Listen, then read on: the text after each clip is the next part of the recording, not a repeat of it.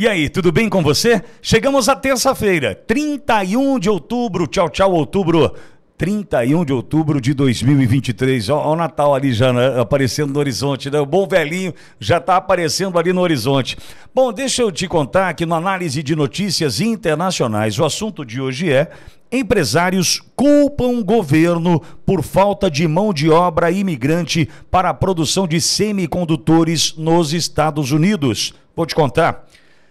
Os Estados Unidos estão vivenciando um boom na produção de semicondutores depois da aprovação do CHIPS Act em 2022 que injetou mais de 50 bilhões de dólares na indústria para reduzir a competitividade com a China, mas o setor esbarra na falta de mão de obra. Segundo o relatório publicado pela Associação das Indústrias de Semicondutores, até 2030, mais de 85 mil vagas de trabalho na área serão criadas, mas é provável que mais de 80% dessas vagas não sejam ocupadas isso acontece porque um terço da força de trabalho do setor é formada por estrangeiros que esbarram na burocracia do governo americano para concorrer ou conceder vistos de trabalho e green cards. Em julho, a chinesa TSMC iria abrir a sua primeira planta no Arizona,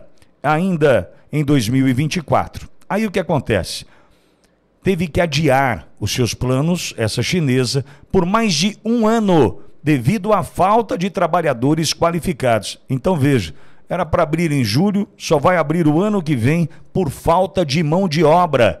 O presidente da organização pró-imigrantes, Todd Schultz, criticou o governo e o Congresso pela lentidão em aprovar leis que facilitem a vinda de trabalhadores estrangeiros especializados. Com relação ao sistema imigratório desatualizado, a informação traz que especialistas criticam a falta de uma reforma nas leis imigratórias que datam a década de 1950. No caso do visto H1B, voltado para trabalhadores qualificados, o governo dá 65 mil vistos todos os anos e outros 20 mil para aqueles com mestrado. Essa quantidade não é atualizada desde 2006. Além da falta de vistos, o processamento de autorizações de trabalho é extremamente lento devido ao grande número de pedidos diariamente. Um relatório em março deste ano da Envoy Global mostra que 94% das empresas seriam patrocinadores dos vistos de seus empregados se a burocracia fosse menor. Estou me lembrando, só vou contar uma história aqui. Uh, início da década passada, 2011, 12 provavelmente, eu fazendo um evento ali na Unicamp, apresentando o evento na Unicamp, na condição de mestre de cerimônias, ouvi uh, de um dos palestrantes da Faculdade de Engenharia de que o Brasil, vejam, estou falando há 12 anos aproximadamente, 12, 13 anos, que o Brasil precisaria, para as próximas duas décadas, no ritmo que crescia aquele tempo, algo em torno de 300 mil engenheiros e formaria aproximadamente 150 mil no mesmo período. O que trazia naquele momento né, a certeza de que sobraria vagas de trabalho e receberíamos aqui estrangeiros para preenchê-las.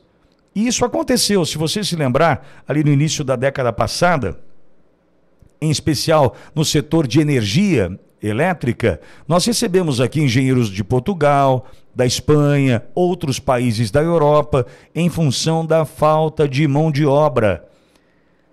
Quando eu percebo essa situação acontecendo com tamanha gravidade nos Estados Unidos, eu me pergunto qual foi a capacidade de entender ou planejar que essa necessidade viria.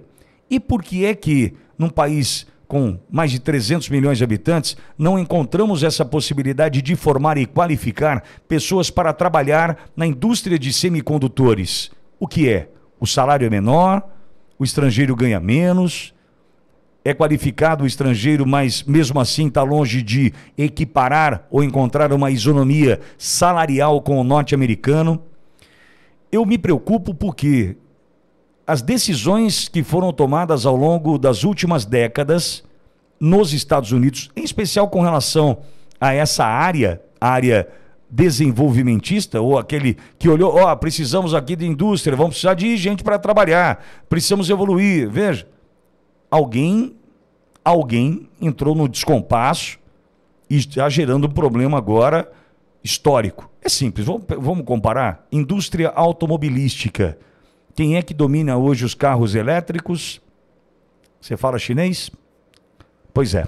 Bom, Deixa eu trazer a dica para você de hoje de Daniel Toledo, advogado especializado em direito internacional da Toledo e Advogados Associados. Você sabe como funciona o visto L1 americano?